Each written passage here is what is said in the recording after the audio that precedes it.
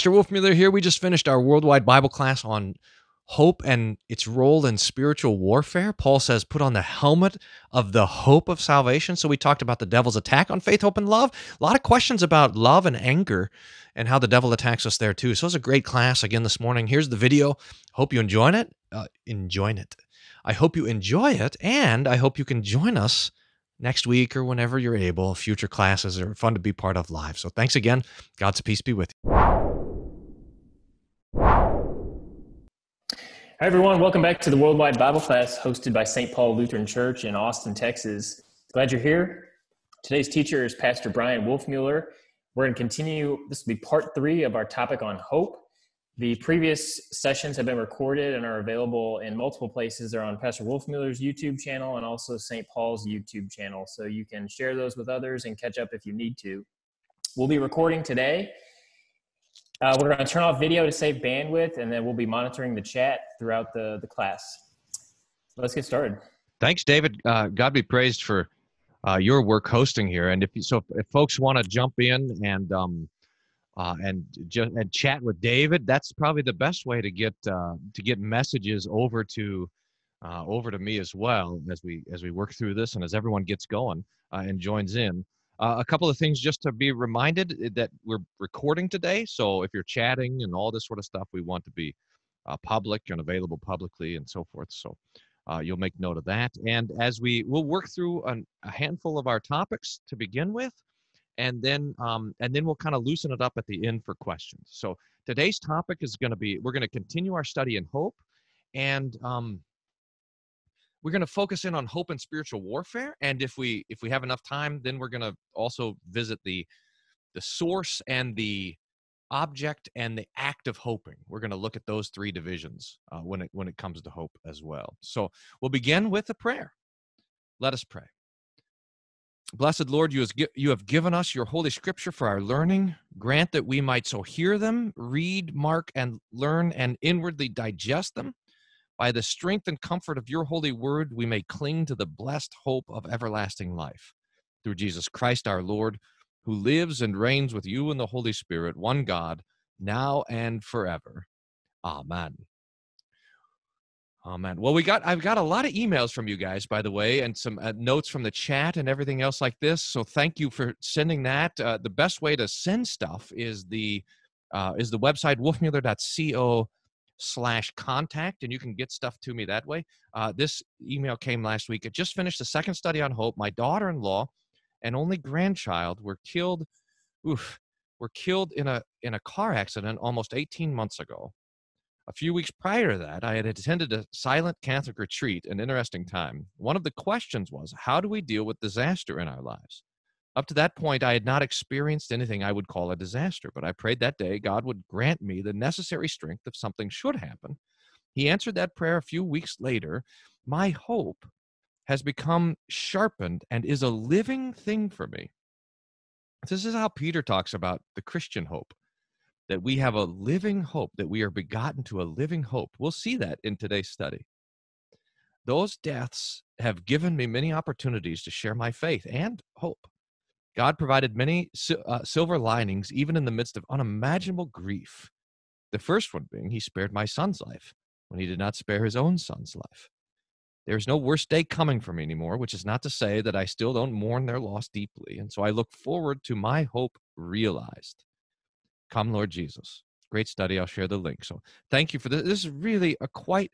I, there's so been there's so many, uh, so many moving uh, things that we've heard not only in the study but from the email as well. I really appreciate this, and it, it it's one of those things is that we realize that that hope it c- continues to press us forward. In fact, we're going to try to look at the fruit of hope as we as we continue this topic of hope and and consider that as well and and so we see that as well how do we mourn we said paul said this explicitly um in first first first thessalonians chapter 4 verse 13 and following he says we mourn not as those who have no hope so that we are mourn our mourning even as christians is very different than everybody else's mourning our mourning is with hope so so thank you so much for this email uh, if you guys have uh, thoughts or anything uh, that you'd like to add, this is probably the best way to do it. So you can jot that down. And these slides, by the way, that we're going to look through, we got a lot of verses. And so these slides are always going to be available also uh, on the website, wolfmueller.co slash Bible. And you can just click on this and you can see. I think a bunch of you guys are actually looking at the slides at the same time. At least I saw that. So you can do that. Uh, you can do that as well. Well, we let's um let's uh, pr- let's press forward just a little bit. So if you'll remember, the topics that we've covered so far in regards to hope are number one, how our hope is unique. The Christian uniquely has hope. So God be praised for that. In fact, it's one of the things that we that we kind of want to we want to hone in on a little bit. That Paul can say that the pagan is without God, without hope and without God in the world. And and so the as our world becomes more pagan or more secular, more pantheistic probably, we recognize that one of the things that happens is there's a diminishment of hope. The horizon of hope, we talked about this last week, is shortened. I mean, it, it extends to my death, and that's it. Maybe it lives on in my family or something like that, but there's no real hope for me pressing past death if I'm a pagan, if I don't believe in God, if I don't believe in, in heaven, if I don't believe in the resurrection, and so forth. So that the, one of the marks of the secular mind is it's without hope. And we see that just not only in uh, what not only in um in the kind of the news and the cultural phenomenon but even in individuals that we're talking with it should be that as a christian is is talking with someone who's not a christian we're like well there's some different ways that we think and that we live and that we feel in this life. And one of those is um, is hope. We that we have uh, that we have hope. And then um and then the second thing we talked about is faith and hope and love and the one of the uh, how these three are always together in this world faith hope and love uh, and how the lord is always giving us all three. And we want to press on from that into the idea of hope and spiritual warfare. Now i want to see if we can do this because i uh, a friend of mine pastor david werner um, who is a, one of our missionaries in spain um, who i got to spend some time with this week uh, in, in there. And I thought, well, so we got a worldwide Bible study. We should try to make it worldwide. So I asked if Pastor Werner would come on and give us a few thoughts on hope and then also give us an update on how things are going in Spain. Is that something we can do? We're ready? Yep, we're ready. All right. Hey, David, good well, morning or good evening. Good afternoon and good you know, morning. So Carrie and I, we were sitting in the back patio, and it was like eleven thirty a couple of nights ago, and we had dinner so late. I mean, we had dinner at like nine o'clock because everything's just kind of crazy. And I said, it's like we're living in Spain now. You know? Yes, it is. Yeah, that's exactly right. Well, greetings to everyone from uh, Cartagena, Spain, where I live here with my wife Shelly. Um, I haven't looked through the names too much here today, but last week when I was on the study, I recognized a number of people from the tour number of names. And uh, so, hi to those folks who've been here with uh, Pastor Wolfmueller last June, I guess it was, and visited the mission. It was a great blessing for us. Um, and I just just briefly, I could just say that that we're doing well. We do have some, um, as you all know, Spain has has not done well with with the whole coronavirus epidemic, and we do have some of our member families have been touched by it. Um, Lord, Lord be praised. So far, we haven't lost anyone we do have some some members and some extended family members of the church um, who are fighting the virus or have fought the virus. And uh, um, the lockdown here in spain continues. It's been it was it was done too late and then it was done very extremely. Um, i you know, we, we can go out of our houses very little. It's starting to slowly loosen and uh, what we're doing as a mission and as a church is is uh, what, what almost everyone is doing. Uh, we use Zoom, we use Facebook Live, uh, we text, we call, we stay in contact. Um, our worship schedule has stayed the same. Uh, obviously, we haven't been able to celebrate the Lord's Supper or or be with each other, but uh, we're looking forward to that day. Uh, Lord willing, not too far away. And uh, Pastor Wolfman, I just wanted to um, say how cool it was to be on the study last week and to think about the way you were working with faith, hope, and love because it just really nicely helps one understand the context for mission and in particular the context for mission here in spain as i think most of you know spain is a traditionally um, roman catholic country i think historically there probably isn't a more roman catholic country in the world including italy um, but in Roman Catholicism, faith is distorted. Their understanding of what the faith is it's kind of semi-Pelagian. It's a, salvation is a mixture of God's grace and our works, or the works of the saints. And on that that confusion, that distortion on the faith corrupts our love because love then becomes not good works that we freely do in response to God's grace to us and and that we do in, in love toward our neighbor freely, but rather works of love become necessary as a part of, of the completion of my salvation. Um, so a distorted faith leads to corrupted love. Um, and that means there's no joy in Christian living. And I think if you study the history of Christianity in Spain, um, you can you can trace this and you can see how that's been a real problem uh, in a country that has been Christian. I mean, Paul was here um, by by most accounts. Paul came here. Um, he wanted to go here. We know that from Romans 15.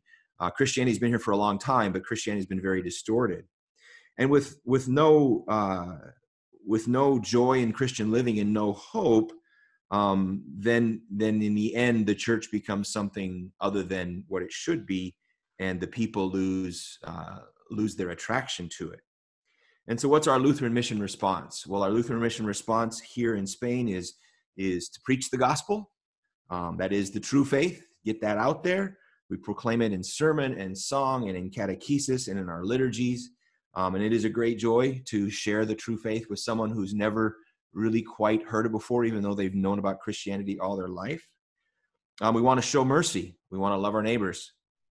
Um, we are currently currently in the midst of this uh, coronavirus crisis, organizing a mercy fund for our own members and for friends of the church because we have a lot of people who've been thrown out of work.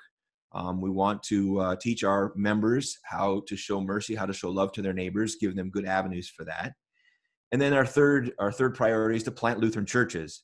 Locally and nationally, Lutheran churches are the place of hope. Lutheran churches are the place where the faith is, is proclaimed and taught and received and strengthened.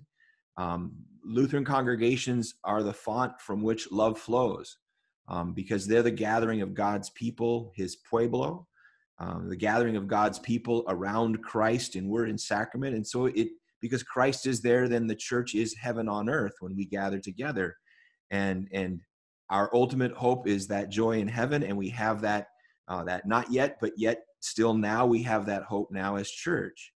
And so that is is just so it was just as I was listening to your study last week, it was just so uh, fun, so fantastic to think about how well this fits with helping us understand our mission context, perhaps the mission context of of everyone on the call as well. Um, and then how it helps shape what we do here. Um, I want to say a couple things. First of all, um, questions for missionaries are great. Um, if anybody ever has a, a question about um, the mission in Spain, I love to receive them. I'm going to put my email in the uh, chat here. I guess I'll, I'll, pass it to David and he can share it for the, the right way to do that. I love questions because good questions make me a better missionary.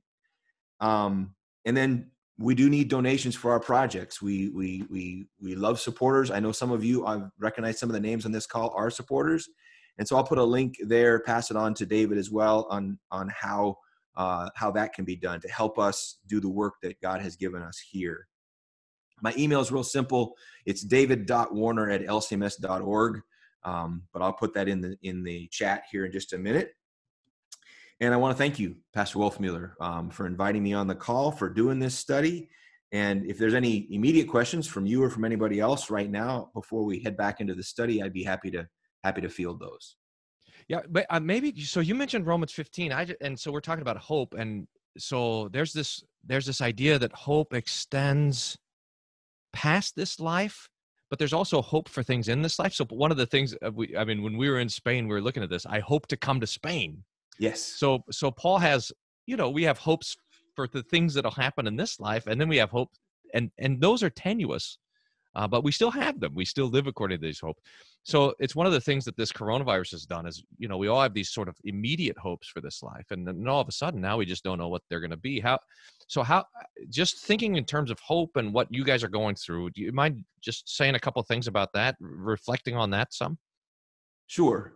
Um, you know when paul says that then he says when i come to you in in in in rome um, I'll come to you in the fullness of the blessing of Christ. That's where Paul went all the time, into that full blessing of Christ. And boy, we really need that now. There's never a better time Yeah, that's perfect. um, to be clear and joy filled and um, just explicit about the gospel because it is hard. We have a we have a missionary, uh, Kayla Holmes. She's been serving with us for for three years. Her time of service is done, but she can't go home. She's stuck. she's in lockdown in Sevilla, and we're trying to look to see when is it that she's going to be able to to to go home because the next phase of her life is starting, and and we're we're thankful that we can keep her working and keep her busy and keep her connected um, to the Word uh, until this this famine, until this famine of of the Lord's Supper is over. Um, but that that that promise that we have and digging deeper into that promise is so important um, now in the midst of of this situation because there's so many things we we can't do um, that we would normally do. Uh, my wife and I are expecting our second grandchild, and uh, we were headed home, um, and now we're not, and we don't know uh, when we'll go home to to see our family again, and we don't know when um, when we go whether we'll sit in quarantine for a while before we can see anybody. You know, there's all these questions, and how critical it is um, just to dig deeper um, in your daily devotion, in your in your connection uh, to your home congregations, um, in your in your own reading, because uh, we need that promise to carry us through. Because because these are um, uh, very strange times and times that that that that are striking everyone differently. And then also um, to be ready to think about that opportunity.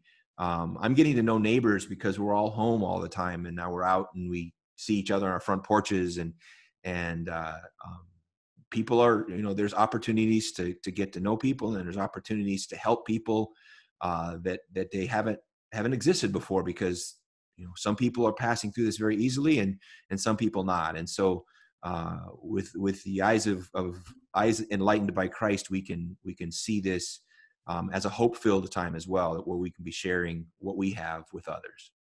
Thank you, David. Oh man, this and what you said about Paul reminds me. So he always Paul had this two ways of being with the church, right? He said, "I." I'm with you in spirit. He's writing to them. He's praying for them. He's thinking for them. And so there's this connection that we have even over a distance. But then he says, I want to be with you. I want to so be with you in the body to be able to bless you and so forth. So that's um that's right. That's good. Well, thank thanks so much. Thanks for jumping in here, and uh, and My we'll make sure that your in, your contact info and email is in the chat as well. So I will get that in. Thank God you. be praised. Yeah, I'm gonna jump into this. I'm gonna switch to the screen here, and and press a little bit on to.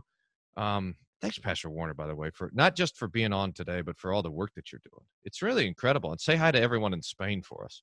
Um, if we pastor Werner made this note that you know it's just is to think about the life of the church in terms of faith hope and love is really helpful. And i think it's it's also helpful to think of spiritual warfare in those terms. So let me draw you guys a picture because that's what really i know why you're here. You're like we, we just it's like there's you know there's such a great history of artists in spain and so now with pastor werner here and we just got to see some art. So that if you think of your christian faith now the church as a house and your own Christian faith as a house, there's a front door attack, there's a back door attack, and then there's a inside the kitchen window attack.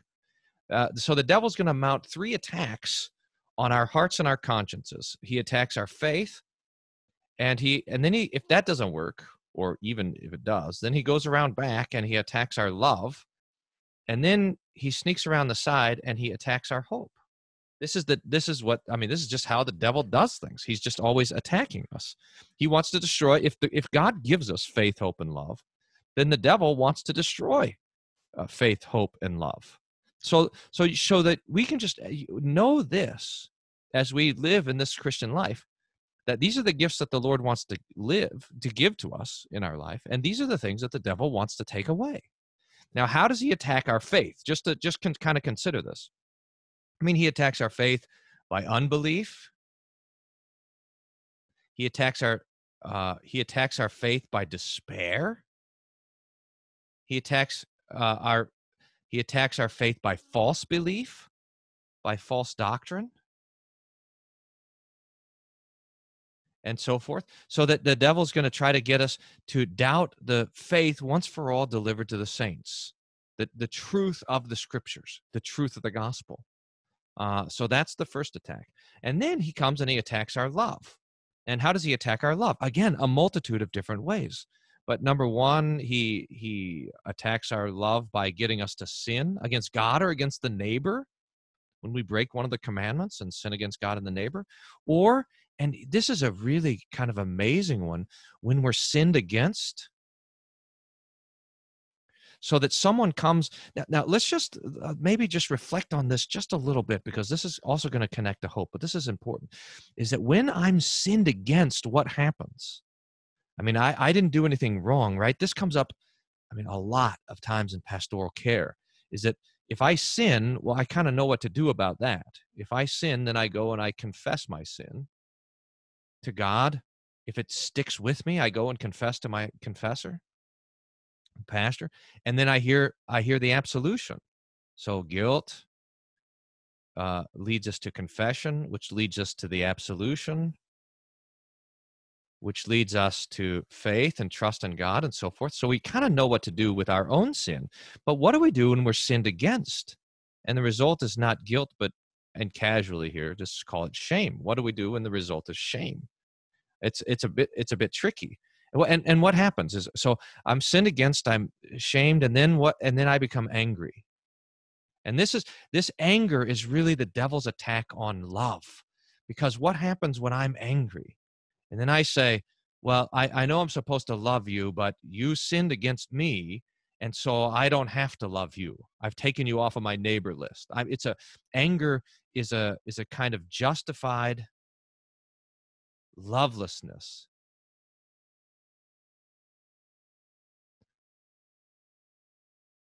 So that I can say, look, I don't I'm not I don't want to love that guy because he sinned against me. I don't want to love that person because they hurt me and shame me and so forth. So the devil is attacking our love. He attacks our faith, he attacks our love, but then he comes along and he also attacks our hope.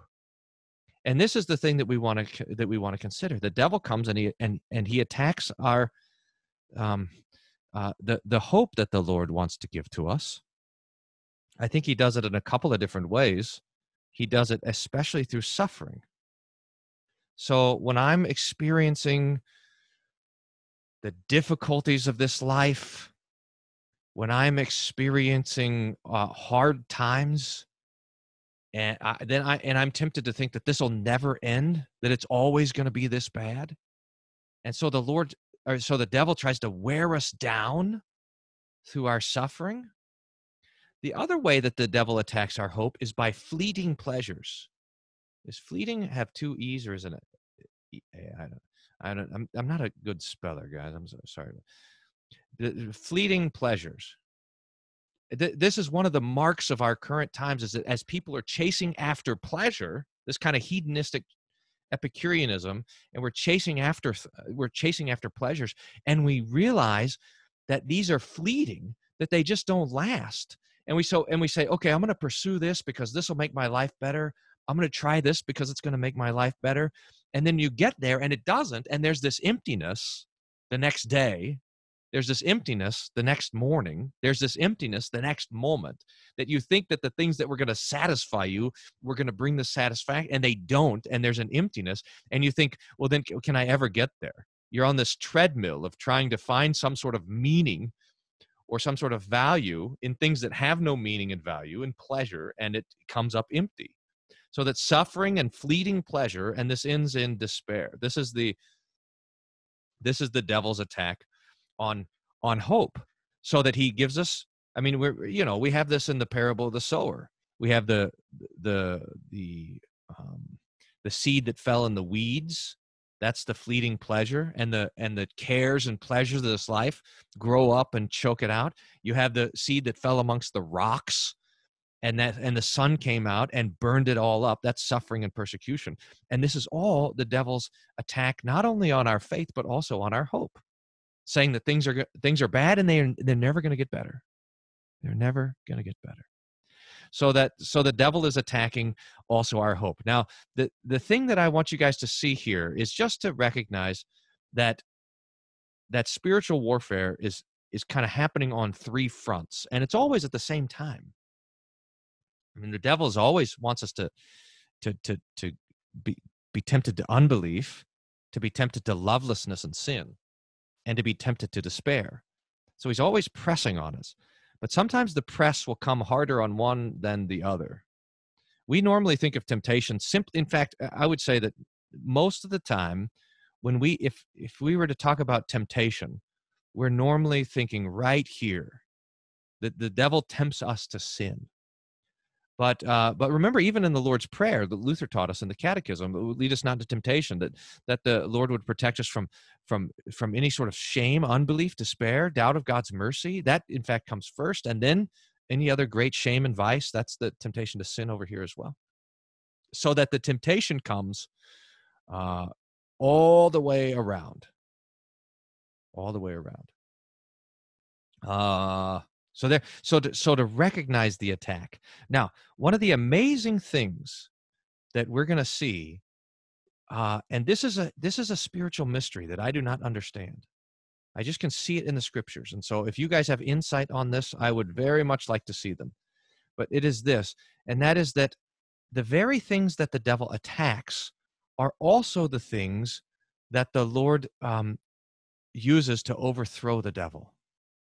Now let me let me kind of say that again and see and uh, because I I don't know I don't understand it well enough to actually to be able to teach it well. So I'm just I'm I'm walking on the edge of what I know here, but I would really I think this is important. So I want to I I do want to know more, and that is that the the thing that the devil attacks is precisely the thing that the Lord uses to overthrow him. So that this so that faith, hope, and love, these three abide. They stand. And it and and they are those things which which overthrow the devil. In fact maybe the best and I, will just i think i have this on the next slide so i'll just go to it. The next uh, the, the the text for spiritual warfare that introduces the idea of spiritual warfare is ephesians chapter 6 where paul says look we, we're fighting we're wrestling we, we're doing war not against flesh and blood. And remember what Paul goes on to say after this. He says, You have the sword. Whoops, that's the wrong thing to draw with. You have the sword of the Spirit, which is the word of God, so that the, so that the thing, and this is the chief point of spiritual warfare, that the devil is attacking the word of God. But what is it that overthrows the devil? Nothing other than the word of God. So remember the serpent, or sorry, the remember the um the birds who came to pick up the seed. What is the seed? The seed is the word of God, and the devil precisely attacks the word which overthrows him. So, in regards to the idea of spiritual warfare, we're going to press on that a little bit. St. Paul says uh, here at the end of Ephesians, finally, be strong in the Lord and the strength of his might. Notice his might, not our might. Be strong in the strength of his might Put on the whole armor of God. Why? That you may be able to stand against the schemes of the devil. For we do not wrestle against flesh and blood, but against the rulers, against the authorities, against the cosmic powers in this present darkness, against the spiritual forces of evil in the heavenly places. And having done it, Paul continues, and having done all, stand. Put on the whole armor so that you can withstand. So the key purpose of all this is so that we can stand and precisely in fact so that we can stand in our vocations where god has placed us. That's what paul was talking about about previously. Now i want to highlight for you guys in this particular text i mean we see here who we do fight against. Paul has this long list of the demonic realm. We fight against rulers we fight against authorities we fight against the cosmic powers this present darkness, the spiritual forces of evil in the heavenly places. So, this is who our battle is against. But I want to highlight who our battle is not against. For we do not wrestle against flesh and blood. So that we as Christians are not authorized to do battle with our neighbor. That is not who our fight is against. Now, this has to do with what we're talking about in regards to love. Look, who does Jesus say to love? He says, if you love your friends, you're just like the pagans. They love the friends. Everybody loves the people that love them back. Jesus says you have to love your enemies. In other words, the Christian is not authorized to declare war against other people because our battle is against the devil and the demons and so forth. So we don't do battle against flesh and blood. We do battle for flesh and blood. In fact, every person that you have ever met, even the worst of enemies, even the people who treat you the worst, etc., etc., these people are not you you are not authorized to hate them, but in fact you are commanded to love them and to know about them what i mean what do we know about every person this is just kind of how we deal with one another sure it's really nice but we have to um uh but we have to we think of everyone else as created by god this is a little bit of a rabbit hole but it's it's nice to remember this that everyone is god's creatures that everyone is a sinner including me that everyone is a is a brother of Jesus according to the incarna- incarnation. So according to the incarnation uh, that Jesus is my brother. And that Jesus has died for every person so that every person is died for by Jesus. And so that I know these four things about, in fact, let's put a fifth that, eh, that they also be resurrected. So that I am I am treating every person according to these things. Now, a thing, uh, a, a, note came up in the chat uh, over here, and it says, "Well, what about just war? Does that mean that every just war is um, is wrong? That we can't declare war against anybody else?" And the answer is no. As this is how so spiritual warfare is talking about our Christian life, uh, and so there's slightly different questions about how we're acting as Christians versus how we're acting, for example, as citizens and rulers and stuff like this. So this is especially in the vocation of Christian. Can a Christian be a soldier? Can there be just wars? Indeed, but uh, uh, uh, nations are not doing spiritual warfare. Christian, this is talking about the Christian church doing spiritual warfare.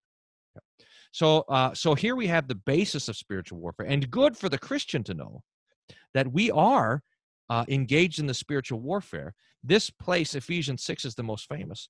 But look at how Paul talks, and here's where I really want to hone in, really want to hone in uh, on, on the idea of hope. Look at this beautiful text. This is at the end of First Thessalonians. Remembering again that First Thessalonians is is, is probably the very uh, first New Testament letter written. So the first, so if you were, so just pause when this writing right here was finished, and say what's scripture. You would have the Old Testament and this letter. I mean, this is the this is the premier text of the uh, uh of the New Testament. And and here's what Paul says: Since we belong to the day, let us be sober, having put on the breastplate of faith and love what colors did we use for faith and love? For faith, no, we used uh, we used uh, blue was hope. What did we use for faith? It's called faith is green. Whoops. Putting on the breastplate of faith and love, and for a helmet, the hope of salvation. Now look at how look at Paul here, who who has who has outlined our our armor in terms of faith and love and hope. So that the very things, let me, let me just pause for just a second there and let's just kind of make sure that we that this kind of settles in. That the very thing that the devil attacks, our faith in God, our love for God and our love for the neighbor, and our hope not only for the good things in this life, for God's care and provision and blessings, but also and most especially for the resurrection and the life to come that those are the things the devil attacks but but the lord has given those things to us to protect us. It's the picture of an ancient soldier who had his armor on you know and he had his helmet and he had his breastplate he had his shield he had his sword and so forth and paul says you have uh, protecting your heart you have faith and love and protecting especially your head you have hope So that hope is shaping our thinking, shaping our reasoning, shaping our imagination. Hope is what's giving us this great protection. You see it here again? Oh, when I come back, my my marks are gone. Ho- whoops. And my settings are off. So that we have hope, we have faith, and we have love. For and why, he's going to continue. For God has not destined us for wrath, but to obtain salvation through our Lord Jesus Christ, who died for us, so that whether we are awake, and here by awake, Paul means alive, or asleep, dead, whether we are awake or asleep, we might live with him. Therefore, encourage one another and build one another up just as you are doing, so that faith, love, and hope are our protection, our encouragement, our build, and our building up. This awake, by the way, this is um, since we belong to the day, it's the theme that's kind of running all the way through here, St. Paul. And let me just kind of hone in on this on this idea of soberness because it's pretty important. I mean, it's one of the dangers. I think it's probably one of the dangers that we have in time of quarantine. It's one of the dangers that uh, Lutherans are always tempted towards. That, you know, there's a on the one hand, there's a sort of um, a teetotaling spirit that uh, that gets into the church that says that any sort of alcohol is bad and then you have the lutheran reaction which is any sort of alcohol is good and that's that's wrong. The bible is often and always talking about sobriety. Now it doesn't just mean by the way to not be drunk. I mean you could be stone cold drunk wait stone cold sober and still not be sober what paul's talking about. In other words sobriety is a state of mind that has to do with spiritual alertness. In fact, this idea of being alert oftentimes has to do with our prayers. It has to do with it has to do with listening and praying. And and so, hmm, so we're we're the, the picture is of a like a night watchman of a of it's it, the picture is one of these soldiers that would stand on the wall uh, of the Roman of the Roman Empire. And here's the empire back here, and here people are going to be attacking this way, but they don't attack during the day, they attack at night. And so I'm standing there on the wall and I'm listening for the people sneaking up in in at night. And then when they sneak up at night, I'm going to sound the alarm and say, "Hey, let's come and fight here." So I'm I'm listening for the enemy's attack and I'm going to call in reinforcements. That's the that's the picture of spiritual alertness that Paul is using here. And so where do we stand? We stand in, in the place where the Lord has called us. We stand in our homes and our churches and our neighborhoods, and we're listening for, we're paying attention to how the devil is attacking our family and our friends and our church. We're paying attention to that, and then we're calling in reinforcements. So sobriety doesn't doesn't mean just not drinking a bunch of beer, although if you're drunk with beer, it's impossible to be sober. So it's not less than that, but it's more than that. It is an it is sort of an alertness. And it's an alertness that's marked with by faith, by a trust in the Lord's word, by a love for the neighbor, and by hope. So that so that we have this hope, we have this confidence, and it and it is protecting us now, let me hone in on one more word, and then we're going to pause for questions. So, as you have questions, now is a good time uh, to send them over in the chat. But I want to I want to notice pick up on this particular word in this passage, and that is the word salvation, the helmet of the hope of salvation. Now, remember, hope has to do with the future, and in a lot of ways, we already have salvation. I mean, this is one of the great truths when we look at, for example, the conversation between Jesus and Nicodemus and he says whoever believes in me has eternal life. Not it's not will have. That's that's not what jesus says. He says no no you have eternal life right now so that our salvation the forgiveness of sins is a present reality and yet there is still salvation that is yet future for us. So that we have everything now in christ but that there is something that we are still waiting for in fact, there's a lot of things that we there's there's so there's still some waiting that's happening. and so that so, so that we say are we saved? And the answer is well yes we're saved. We have salvation but we're waiting for salvation too. We're waiting for the for our sinful flesh to be taken away from us. We're waiting to see god face to face. We're waiting for the resurrection of the body and the life everlasting. We're waiting for uh, for the lord jesus to come back and to bring about his physical manifestation and it comes up again twice for God is not destined us for wrath, but to obtain salvation through our Lord Jesus Christ. So that on the judgment day, what, is, what does the Lord have for us?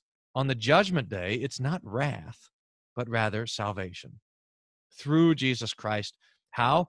Because he died for us, so that whether we're alive or we're the, we're the quick of the dead, we live with him. So encourage one another and build one another up. So that this idea that the Lord has given everything for us and that the Lord has more to give in his goodness, it protects our minds. Now, the other thing to note is that when we don't have that hope, then our minds are open to corruption. Our minds are open to demonic influence. As the devil caught, and, and this is an interesting sort of spiritual phenomenon, but something important to think about is that is our hope is diminished, both our our godly, reasonable hope in this life and also our sure and confident hope in the resurrection. As that is diminished in our minds, now our minds are less protected. Now our minds are open to the influence of of the devil and the demons. And so so we want to continue to to shore up our hope one of the things we're going to look at next, look at the time, probably not today. One of the things we're going to look at next week or the week after is is what our hope is based on and how our hope comes.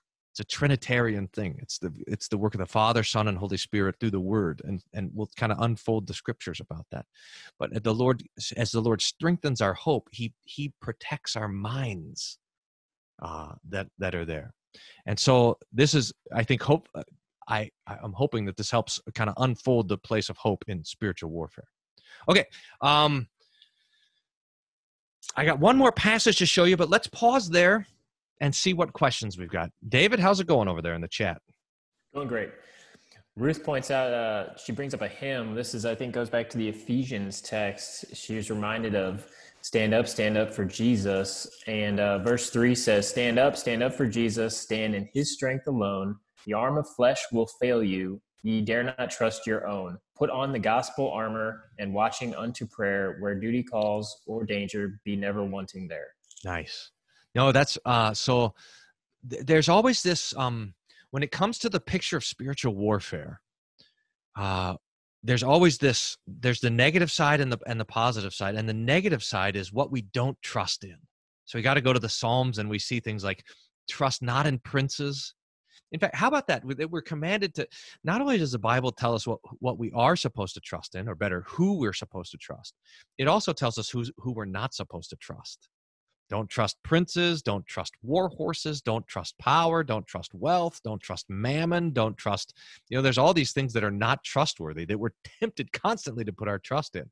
So we don't trust that. Our trust is not in these things. When it comes to spiritual warfare, our trust is in the Lord and and hit and the power of his might. And that's uh and so we stand as christian soldiers. We stay we don't march we stand in the strength not not in our own strength not in our own righteousness not it's not a hope in ourselves but in in the lord and his word. Fantastic. And then with the most recent topic uh here we have a, a question from elizabeth uh, regarding the, the coming salvation uh, they're reminded of a passage you've, you've quoted before. Now, when these things begin to take place, straighten up and raise your heads because your redemption is drawing near. Yeah, that's how when Jesus. See, I think goes oh, on. I'm oh, sorry. Oh, sure. No, no, that's good. When we see these attacks from the devil, how encouraging is it to know that it is a reminder that our Savior is coming soon to save us? That's fantastic.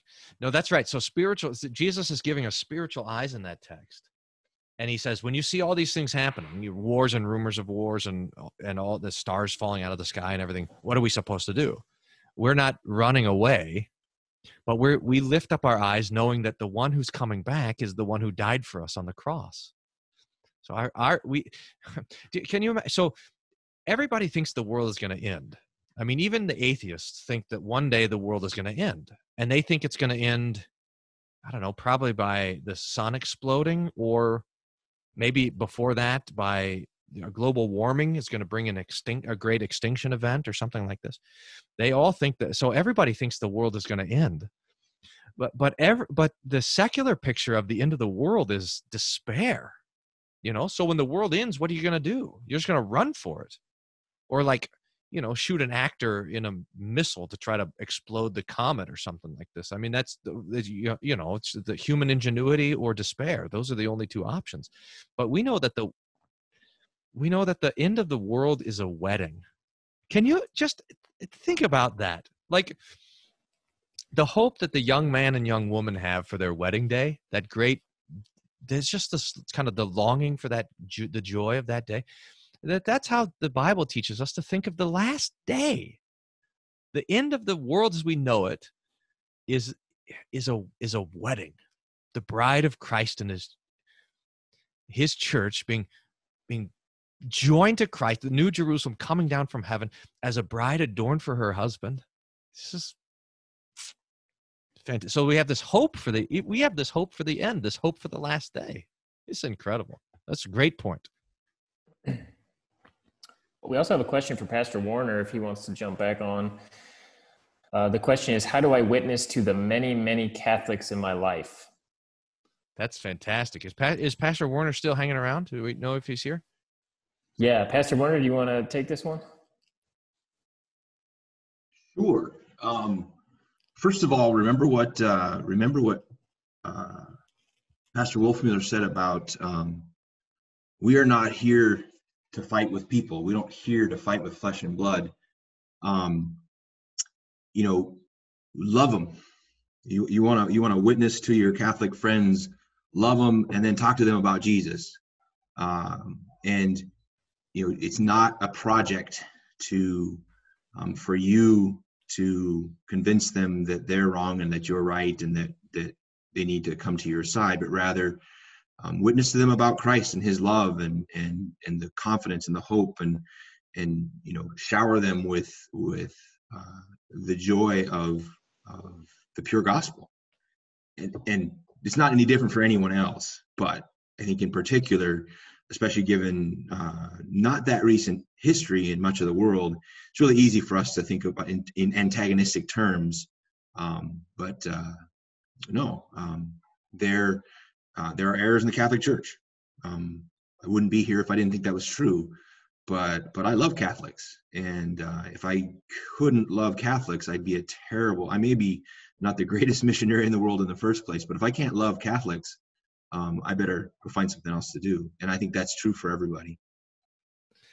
I my picture is so when we confess in the catechism that the Holy Spirit is calling, gathering, enlightening, and sanctifying the whole Christian church on earth, is that you have you have this it's the it's like the church is a boat and the people are the fish and some people are hooked some people are not yet hooked some people are hooked and some people are on the boat. Now this is my own imagination but the lutherans are the fish that are on the boat and like a, bunch of stupid fish we're trying to flop off but anyway we're on the boat but the holy spirit is hooked everybody else you know our catholic friends our evangelical friends our reformed friends they're hooked and they're and the holy spirit is gathering them together to the truth and some might die on the line not in the boat yet and have to be dragged in and in death uh, but to, the, the Holy Spirit is doing that work already. That's what we confess there, that the Holy Spirit is calling, gathering, enlightening, and sanctifying the whole Christian church on earth. He's doing that work with us, and He's doing that work with all Christians. And so that gives us confidence to know that now it's not us, that the Lord is doing that. And so our job is, I think, to, like Pastor Warner said, we're looking for opportunities to, um, to love, to serve, to bless, to to speak clearly the joy that we have in Christ and to rejoice also in the in the debates because it's precisely in the debates that our own clarity comes clear. Wait a minute. That our own confession becomes clear. That we we, we realize oh now how do we think of mary? Or how does love relate to faith? How is justification by grace through faith alone, apart from works, and so forth? So those debates and those conversations press us closer to the scriptures, which is a blessing also for us. So to see that the Lord uses those opportunities to speak to other people of different confessions or different faiths or no faith at all, the Lord uses those occasions also to bless us. So, um, so the Lord is doing this work, and we pray that He's also doing it with us. That, this is the point that He's gathering us He's gathering us. The Holy Spirit's doing it. Um, David, uh, this question is a good question about how do we deal with sin against us. Do you do you mind? Um, I think we could take that on. Yeah. Um, sorry, there's a lot coming in, so I have to scroll back to it.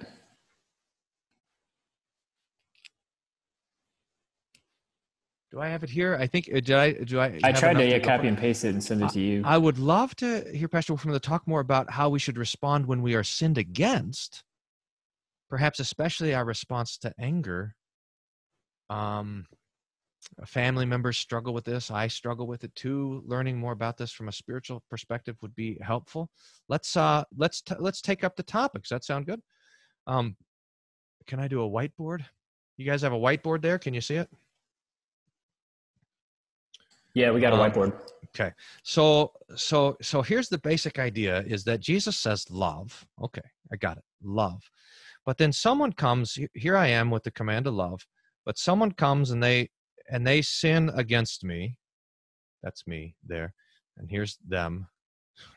so here I am and I'm sinned against. Blam. And what happens is that now I'm I'm angry. That's always my first response. And so I'm angry against them. And what does that mean? When I'm angry, that means, well, I know I'm supposed to love everybody, but that guy's not everybody. I know I'm supposed to love my neighbor, but this guy over here, he's off the neighbor list. Boom, I don't have to love him. And so what so the so the spiritual phenomenon and it's just I mean in fact some of the some of the best stuff is just to recognize this. The spiritual phenomenon is that if I'm angry with that person, then I'm saying that they're a not neighbor. I, I to put maybe to put other language on it is that I it that anger is this it's justified lovelessness, justified not loving. And this word justified I use on purpose because it we've justification is a legal term and justification is our salvation that we stand justified before the lord. But the danger is we're always trying to justify ourselves. Our flesh is always trying to justify ourselves and justify our own actions. In other words i made an excuse for not loving this person and why? They sinned against me so they don't deserve it. As if that's the question. As if jesus said love the people that deserve it. If that was the case then we maybe would have only a couple of people that we would love but certainly the lord would not love us so so that we go back to the scriptures and we see that when the lord tells us about love he specifically connects it to loving our enemy now here's so here's what happens and the, and and this cycle is oftentimes in some of the closest relationships. So we see this often in families. I'm sinned against, so I get angry, so I don't love this person, and the result is I sin against them maybe by neglect, maybe maybe by not talking to them, maybe by treating them coldly or whatever. I sin against them, and then what happens? Now they get angry, and then they sin back against me because this is what happens. And so what hap- My conscience becomes becomes hardened to them. In fact, one of the pictures that we can have of the hardened conscience is that the, so the anger is like a, a shot of novocaine to the conscience so remember when you go to the dentist and he says, "Okay, I'm going to give you a shot," and he pulls out this this big four inch needle and oh man i do not like this by the way but he gives you this shot and now all of a sudden you're numb in that particular spot. Well if you could think of your conscience this way and here's one neighbor here's another neighbor and here's my neighbors and my conscience and when someone sins against me what happens is that i get a little spot of numbness in the conscience and now I don't feel like I need to love that person. I don't. That, my conscience doesn't bother me if I don't treat that person right. So my conscience isn't helping me to love them, but in fact, sin now in the hardness of the conscience is is uh is let loose and the result is this start now this starts to go back and forth back and forth i sin against you you sin against me you and then at some point you go from anger to an being an enemy and then you go from it being an enemy to then what what hebrews talks about is bitterness so that bitterness comes in and now not only am I just not loving, now I'm actively sinning against this person. Now I actively desire this person's hurt and so forth and so on. So this is the kind of cycle that the devil wants to get us in, and this is his attack on love. Now, what cuts this off? I mean, is is specifically what the Lord Jesus says about anger. So so that uh, there's there's instructions in the bible about anger.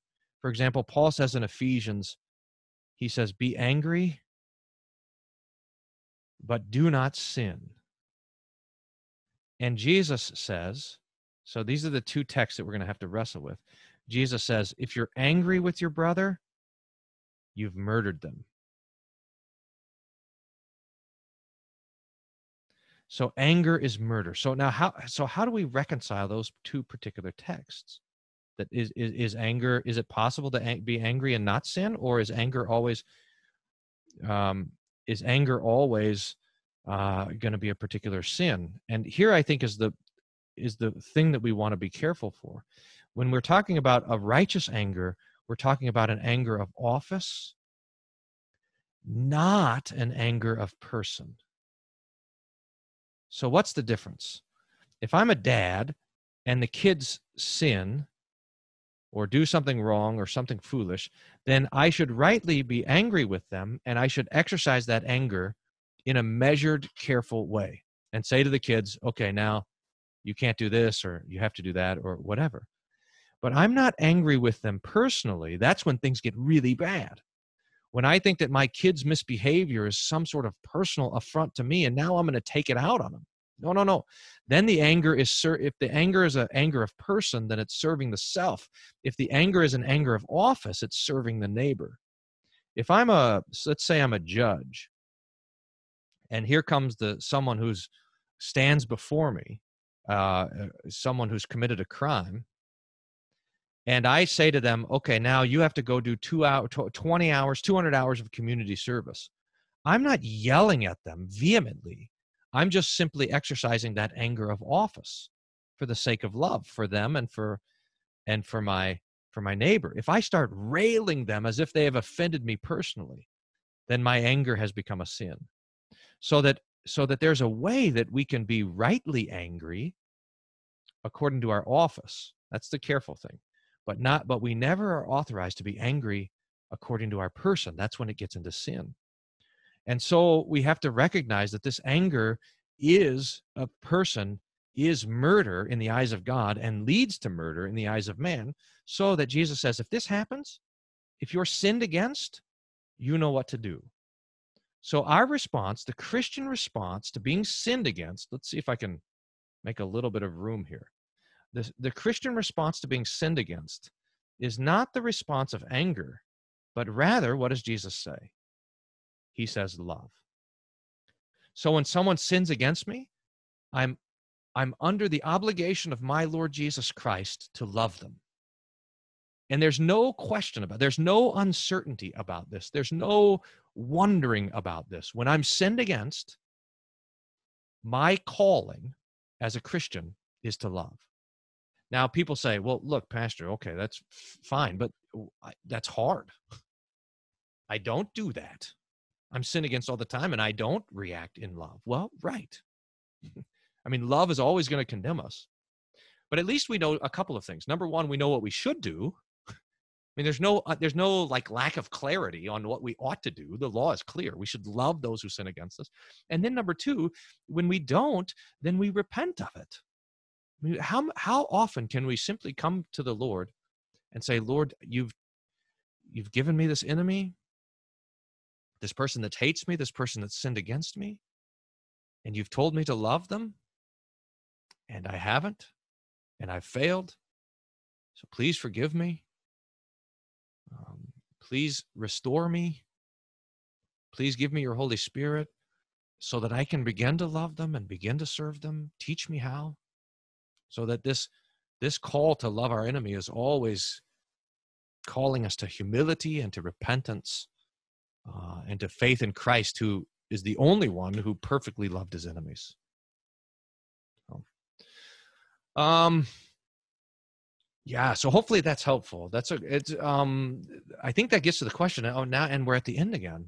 This is. Yeah, you answered a lot of questions along the way in that discussion as well. Perfect. There's not a lot of time, but quickly the analogy about the boat uh, and the, the fish in the boat, and we're yeah, periodically yeah, yeah. flopping around trying to get out of the boat. um, That's right. It's, it's, possible. There's a couple questions in here about that. Maybe people haven't heard that analogy. Do you have a couple minutes to expand on that analogy? Yeah, I don't know if I've ever taught it, but it's it's it's uh, it's just in my mind too. Because one of the things is we so we often think of evangelism as our like we're the ones out there fishing uh, go and I'll, I'll call, I will make you fishers of men. We see here Jesus calling Peter and so we think now everyone's going to be a fisher of men but god be praised that peter and and the scriptures those the apostles and the prophets are fishing and the holy spirit is using them as the fishermen to draw us in and it's it's better to think of ourselves as the fish that are caught um, and that are dragged in so jesus tells the parable of the net in fact on in matthew 13 it's one of the parables of the kingdom so the lord is drawing us drawing us in. So we rejoice in this that the Lord is the one who's dragging us. Uh, and we should just rejoice. I think before we start thinking about how we need to go out there and fish, it's best for us to reflect on the fact that we are fished, or however you say, we are caught, we are netted, we are hooked. That Jesus has us, uh, and that's where our joy comes from. And then we rejoice that the Lord is not dragging us into his boat alone, but he's dragging everyone. In fact, how about this that that everyone that we care about, that we love, that we hope that would become a Christian, that we hope that would believe in Jesus, Jesus also has that hope. And part part of our understanding of universal grace. I want to I need to study this a little bit more. I was reading some an old theologian was talking about this a couple of weeks ago. Um, is because we normally think universal grace means that Christ died for everyone, but the old theologian says it's more than that. We also confess that the Holy Spirit is working in every person's heart and mind and conscience to draw them to Christ through the word. So that Jesus loves the people that you love and desires their salvation as you do, in fact, more than you do. And so there's a lot of hope in that that Jesus that that Jesus is doing his work.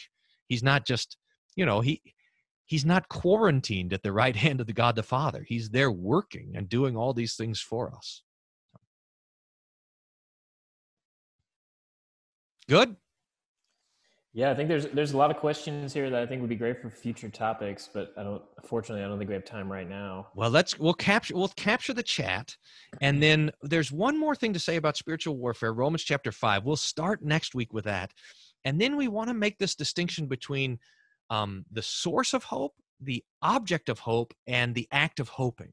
So if you think of hope like there's a foundation of hope that we rest on, and then there's the the thing that we hope for, and then there's the there's the act of hoping, and the Bible talks about all three of those things.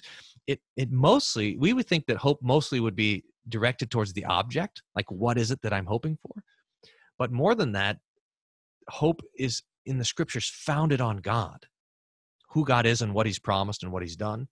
So the object of hope is perhaps even more important than the object of hope. And so we'll make some of those distinctions and press that out a little bit as well. So thanks again everyone for being here, for being part of the chat. We'll capture that chat.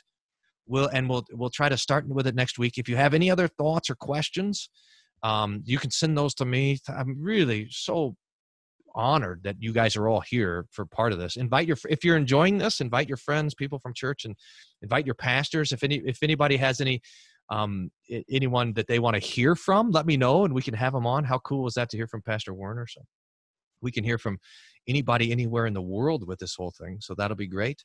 Um, and and thanks again. We'll record. We'll put the video up on uh, on the websites, the church website, St. Paul, and also on my YouTube channel. So uh, you can find this later, and all the notes are still available as well. I think that's it. Let's let's end with a prayer. Lord, we pray that you would continue to protect us against the devil, against his attack on our faith and our love and our hope in you and your promises. That we would abide safely protected in these things with the breastplate of faith and hope, with the helmet of with the breastplate of faith and love and the helmet of hope, that you would keep us safe until we arrive at last in hope fulfilled, the resurrection of the body and the life everlasting. We pray that you would bless and keep in your hope all those who are part of the study uh, and their families and friends, that you would keep us all safe during this pandemic, and that you would use us to bless one another and our neighbors in your name. For we ask all these things through Jesus Christ, your Son, our Lord. Amen. The Lord bless you and keep you. The Lord make his face shine on you and be gracious unto you. The Lord lift up his countenance upon you and give you his peace. Amen. Well, thanks, guys. Thanks, David, for for helping host, and thanks everyone for being part of it. Uh, Lord's peace be with you, and see you next week.